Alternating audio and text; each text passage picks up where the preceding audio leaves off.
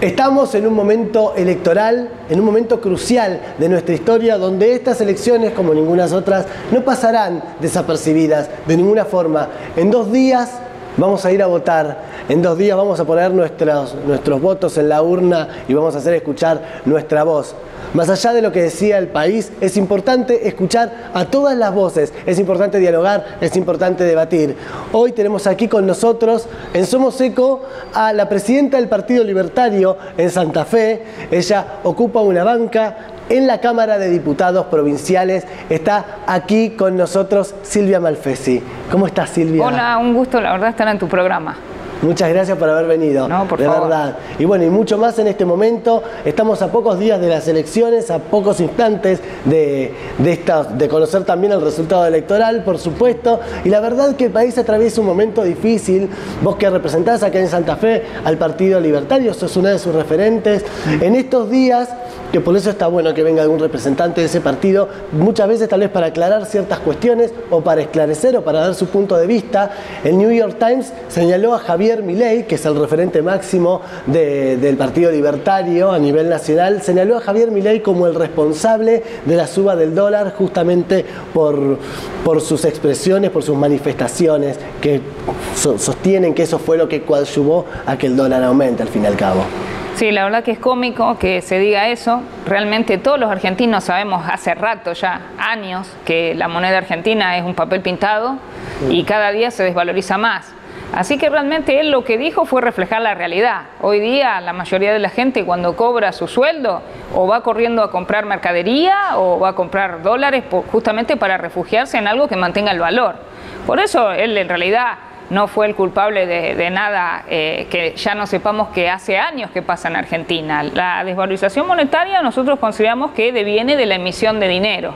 Por ejemplo, a esta altura del año ves que la frutilla, a mí me encanta, la frutilla está mucho más barata y compro en esta altura del año. ¿Por qué? Porque hay mucha oferta y baja su valor. Del mismo modo de la frutilla, si vos emitís muchos billetes, los billetes van a desvalorizarse y en realidad el aumento de precios es que baja el valor de la moneda. O sea que él no dijo nada ni incitó a nada y todo el mundo hoy día trata de resguardarse porque a uno le cuesta ganar su dinero con su trabajo y trata uno de mantener el valor de lo que tiene. Es así. Tal cual, más allá de los argumentos entonces tal vez que señale el New York Times, hay una cuestión que es completamente de fondo. Sí, no hay duda que eso ha sido capcioso, eh, echarle la culpa a él de una cosa que en realidad el único culpable de eso es el gobierno que emite mucho para cubrir un déficit. el gobierno en realidad es inmoral porque trata de solucionar un problema de déficit, o sea, gasta más de lo que entra emitiendo. Y eso es lo que causa la inflación. Y él solamente lo que reflejó fue la realidad, o sea, no, eh, le echan la culpa de todo ahora con fines electorales, no hay duda. Ahora hay muchas cuestiones y muchos sectores donde se despertó controversia en muchísimas declaraciones respecto a los ministerios, respecto a ver a muchos derechos que sostienen que se están poniendo en pugna, sectores que atañen a la diversidad o que atañen a la mujer y sus derechos, a la universidad pública, sienten que sus derechos van a ponerse en riesgo. Sí, en realidad también es cómico porque la idea liberal es la que más respeta los derechos, porque en realidad los derechos los tenemos por ser personas, o sea, los derechos no nacen de, de la ley. Si fuera así, imagínense que hasta la vida dependería del gobierno de turno. Los derechos preexisten. Lo que hace un gobierno es respetar los derechos. Solamente reglamentarlos muy excepcionalmente para proteger, por ejemplo, la salud de todos o la seguridad. Por ejemplo, si yo quiero ir a ver un grupo de rock y a mí en mi casa me gusta escucharlo eh, munida de armas, en mi casa, bueno, pero si voy a ir así a la entrada del estadio me van a decir, no, mire, usted no puede entrar por una cuestión de seguridad. Se reglamenta eso en aras de la seguridad de todo. Pero no hay ningún derecho que, al contrario, con el sistema liberal es donde más eh, se respetan los derechos de todos. Ahí vamos. ¿Podemos profundizar un poco más ahí, Silvia, respecto a de qué manera son respetados esos derechos justamente con un gobierno liberal? Claro, el gobierno liberal básicamente lo que hace es respetar el sistema constitucional. Eh, fíjate que siguiendo nuestra Constitución Nacional, todo lo no prohibido está permitido. Y hoy día parece que fue a la inversa. La gente cree que para hacer algo tiene que pedir permiso. Por ejemplo, vos, vos querés abrir un kiosco. Está bien que haya ciertas reglamentaciones en aras de la seguridad, de la salud, sí, pero ponerte una maraña de normas municipales para que vos digas, va, no pongo nada, esto es terrible, ya ahí realmente te asfixia. El sistema es que la libertad tiene que fluir y te digo más, con, la libertad todos los días nacen nuevos derechos. Los derechos nacen de la inventiva del ser humano. Eh, no, no, no, son del gobierno los derechos. Eh, cuando se habla mucho, ¿tenés tus derechos? Sí, los tenés por ser persona. Y los va a tener mucho más en un sistema liberal como el que propone Javier Milei. O sea que no puedo evitar preguntarte tampoco por una cuestión que es crucial, por más que muchos sostengan que no es una cuestión crucial, que es la cultura. Sobre todo para este espacio, para este programa, al igual que muchos espacios que invita a tantas bandas, a, tantos artistas, algunos de renombre, otros de, una, de un circuito más emergente. ¿Qué, lugar va a ocupar la cultura en el gobierno de Javier Milei en caso de que sea el ganador? Te digo, la cultura es primordial y justamente se relaciona con la libertad. Cuanto más libertad, más fluye todo lo que es cultura. En nuestro sistema, como realmente se respeta la propiedad privada, hay seguridad jurídica, eh, los capitales vienen y el capital no tiene bandera, el capital va donde se lo respeta. Y al haber prosperidad es donde más se propicia la cultura. Eh, a veces vos ves que en los países donde se establecen sistemas libertarios, eh, te encontrás con lugares de cultura espectaculares que vos pensás que lo hizo el Estado y lo hizo un particular que hasta lo dona. Porque lo que nosotros, claro, nosotros vivimos en una pobreza extrema, más del 50% de la población con pobreza. Entonces, vos decís, ¿qué me está diciendo que alguien va a poner algo en cultura? Sí, lo va a poner, justamente en ese sistema de prosperidad. Y la prosperidad la trae el capital, no hay duda. Así es. Lo que sucede es que este, en este último tiempo, o con muchas declaraciones, o al ver el video de Javier Milei arrancando los carteles de los ministerios, mucha gente de alguna manera entró en pánico. Entonces es muy difícil a veces poder hacer esta lectura respecto a lo que vos estás mencionando. Sí, en realidad con ocho ministerios, quizás cinco, ya están cumpliéndose las funciones que cumple el Estado. El Estado tiene que ser austero, pero muy eficiente en sus tareas, en la seguridad, en la justicia. Fíjate que hoy día tanto se habla del Estado presente y no tenemos ni seguridad ni justicia. Eh, seguridad, ni, ni, qué decir. Vos salís a la calle en cualquier lugar y tenés que, si suena el celular, no lo contestás por miedo que te lo roben. Justicia, ¿cuánto tarda hoy día un juicio? Yo cuando me subo a un taxi me preguntan, ¿usted abogada? Ah, yo tengo un juicio hace ocho años. La justicia lenta termina no siendo justicia. Eso es lo que hay que restablecer. Ahí vamos. Sos eh, una persona muy involucrada, sobre todo en estas causas. Por algo también sos la presidenta del Partido Libertario, también sos una diputada electa con una banca en la Cámara de Diputados Provinciales. ¿Cuándo fue en el, momento en el que a vos te nace el deseo de participar de una forma partidaria, de decir, hasta acá yo me tengo que involucrar? Sí, sí, siempre me gustó la política, la verdad que me gustaba mucho. En mi juventud estuve en un partido que era muy chiquitito, se llamaba la UCD. Eh, después, bueno, dejé de participar, me puse más a estudiar, que lleva su tiempo.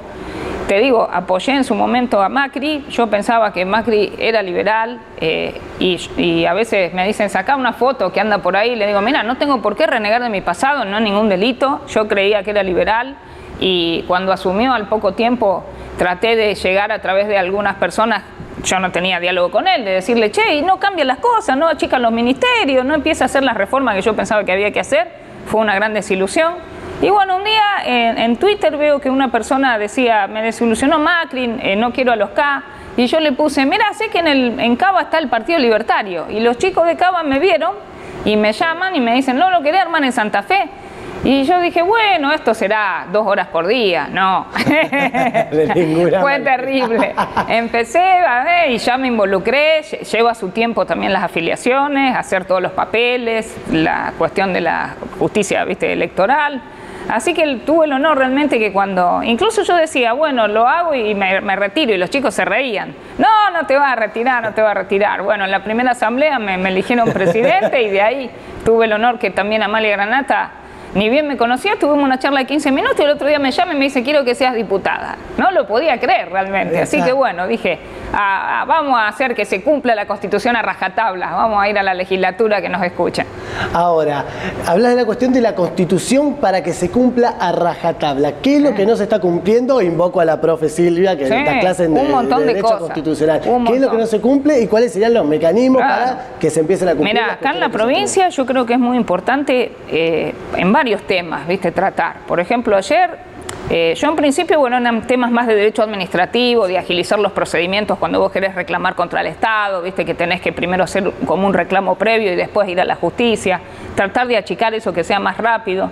Pero hay miles de cosas, por ejemplo, ayer estuve eh, con la Cámara de Corredores Inmobiliarios y ellos me planteaban la posibilidad, porque dice que, claro, la gente no está poniendo en locación sus inmuebles porque tiene miedo de que si el inquilino no paga, el juicio se hace muy largo. Y me decía, mira, podría ser que el inquilino bueno, en vez de eh, dar, pedir garantías, que es un problema grave que no se consiguen, en el mismo contrato diga que puede estar, hacerse un procedimiento de desalojo abreviado que se llama si no paga. O sea, que el inquilino opte por esa vía y no presente garantía. Y es un tema de procesal, de juicio, que le corresponde a la provincia. O sea que en eso también, viste, estamos viendo la posibilidad de hacer algún tipo de procedimiento abreviado y que el inquilino cuando celebra el contrato elija, viste, si no pone garantías ese procedimiento que si no paga es mucho más rápido que un juicio largo, ¿viste? Después, bueno, estamos analizando también todo lo que es el tema de seguridad en la provincia. En eso te digo que estoy preguntando a gente idónea porque hay un montón de gente que te dice que sabe y después cuando vos le preguntás, sí, es un campo minado, Es un campo minado. Entonces, bueno, estamos tratando de ver, me estoy tratando de informar bien en la, cómo es la estructura de la policía. Yo creo que es muy importante quizás el tema de policía preventiva, pero eh, con policías que yo digo lo asemejo al, al, diariero, ¿viste? Yo los domingos voy a comprar el diario y el diariero me cuenta la vida de todo el barrio. Esta se mudó, aquella se fue, aquella se separó. Eh, yo creo que el policía tendría que estar apostado en una zona y conocer el movimiento sin violar la intimidad. Bueno, esas cuestiones yo creo que son importantes y se pueden hacer reformas legislativas en aras a, a lograr todas esas cosas. Ahora, estamos hablando de normas legislativas, algo que no es nada simple, no es joda para nada, y se nota que sos una persona resolutiva, que va en pos de un objetivo firme, una mujer se nota que sos de mucho carácter. Ahora, lo que noto y lo que se puede percibir fácilmente, hablando un poco más de vos, Silvia, de tu personalidad, es que no es tan fácil hacerte enojar. Hay otros candidatos por ahí, bueno, como el propio Javier Milei, como Guillermo Moreno, pienso, no en Diana Conti, muchas figuras de la política que fácilmente se exacerban y se exaltan todo. a vos no es tan fácil hacerte enojar no, no, yo te digo la verdad que yo creo que eh, tenemos que volver a una época donde eh, quien no pensaba como uno era un adversario, no un enemigo. Claro. Yo en la facultad tenía amigos comunistas, íbamos juntos a, a, la peatonal, cada uno repartía sus panfletos y tomábamos mate, nos reíamos. Lamentablemente después se armó una grieta y es muy fea porque yo creo que tiene que haber tolerancia. Me enojo, sí, cuando en mi casa llego y mis dos hijas tienen todo desordenado, ahí pego unos gritos. Pero en general yo creo que hay que volver a eso, a decir, mira, no comparto tu idea, pero la respeto. Eso me parece que es importante en Argentina. Así es. Así es, y tenés también tu forma porque estás todo el día pendiente de las cuestiones del partido, sobre todo muy pendiente, bueno, estas cuestiones de las reformas en un año electoral completamente muy álgido, es muchísimo el estrés y es muchísima la demanda de energía. ¿Cómo haces para sí. distenderte un poco? Vos sabés que me gusta salir a trotar, últimamente no lo hago tanto, pero eh, hace como siete años que empecé caminando por Oroño, ¿viste? Y después hacía una, una cuadra caminando, una trotando, una caminando, una trotando. Después Ahí le fui va. agregando y un día hice un kilómetro, una felicidad. Y es como que el cuerpo te, después te lo pide, ¿viste? Entonces trato de distenderme últimamente, no tanto porque, bueno, estábamos organizando todo lo que es fiscalización para ahora las elecciones próximas y lleva su, su tiempo, ¿viste? Organizar todo. Pero es bueno hacer algo porque hace bien en la cabeza. Sí, Así sí, es, sobre sí. todo es necesario. Sí, es, es necesario. importante. Silvia, para ir culminando, un mensaje que vos quieras transmitir antes, antes de estas elecciones, que estamos a dos días nada más. Sí, decirles a todos, bueno, que esta es una oportunidad única, que tenemos que salir de lo que suele llamarse el sistema populista, que en definitiva lo único que ha traído a Argentina es miseria, es hora realmente de que se cumpla con la Constitución. En realidad lo que eh, propicia Javier Milei es eso, el respeto pleno del ordenamiento jurídico constitucional. No hay que tenerle miedo, es a la inversa. Si estamos en ese sistema se van a respetar plenamente los derechos y con libertad y con capitales va a haber prosperidad para todos. Silvia, muchas gracias por haber venido y para culminar algo que siempre preguntamos y le pedimos a los invitados con Eugenia y Hermoli, ¿alguna canción que te guste para cerrar? ¿Qué música escucha ah, la diputada y, ah, me gustan de temas así, títulos no te voy a decir, pero me gusta por ejemplo Elton John, Ay, me gustan los VGs, cosas antiguas me gustan, así que cualquiera de esas bandas puede ser. Sí, sí. Ahí vamos, con algún tema de Elton John. Buenísimo. Despedimos, cerramos esta nota. Muchísimas gracias por no, venir. No, gracias Silvia. a vos y gracias por la música. Un placer enorme, un Chau, placer enorme. Con este tema nos vamos a una brevísima pausa y seguimos con mucho más de Somos Seco.